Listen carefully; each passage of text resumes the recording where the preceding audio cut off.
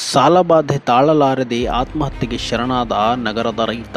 ಹೌದು, ಕಲಬುರಗಿ ಜಿಲ್ಲೆ ಚಿಂಚೋಳಿ ನಗರದ ಬಡಿದರ್ಗ ಏರಿಯಾದ ರೈತ ಸಾಯಿಬಣ್ಣ ತಂದೆ ಗುಂಡಪ್ಪ ತೋಡಿ ಎನ್ನುವ ರೈತನು ನಿನ್ನೆ ರಾತ್ರಿ ತನ್ನ ಮನೆಯಲ್ಲಿ ವಿಷ ಕುಡಿದು ಸಾವಿಗೆ ಶರಣಾಗಿದ್ದಾನೆ.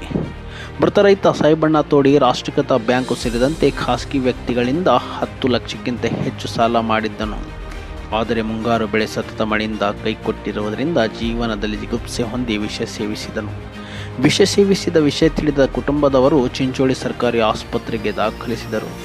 ಚಿಂಚೋಳಿ ವೈದ್ಯರು ಕಲಬುರಗಿಗೆ ಹೋಗುವಂತೆ ತಿಳಿಸಿದರು.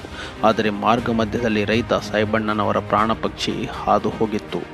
ಮೃತನ ಮರಣೋತ್ತರ ಪರೀಕ್ಷೆಯನ್ನು ಕಲಬುರಗಿ ಸರ್ಕಾರಿ ಆಸ್ಪತ್ರೆಯಲ್ಲಿ ಮಾಡಲಾಯಿತು. ಈ ಪ್ರಕರಣವನ್ನು ಚಿಂಚೋಳಿ ಪೊಲೀಸ್ ಠಾಣೆಯಲ್ಲಿ ದಾಖಲಿಸಿಕೊಂಡ ಪಿಎಸ್ಐ ರಾಜಶೇಖರ್ ಹೆಚ್ಚಿನ ತನಿಖೆ ಕೈಗೊಂಡಿದ್ದಾರೆ.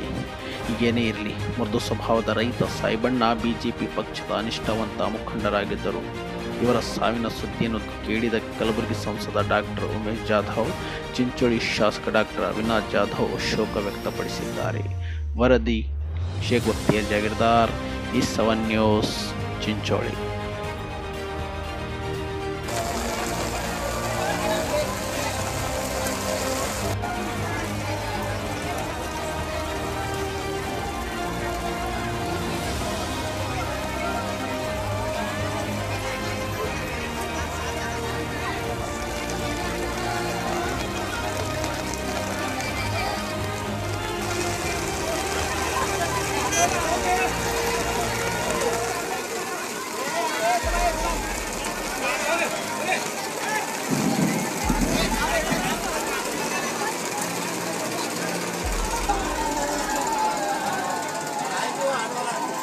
何?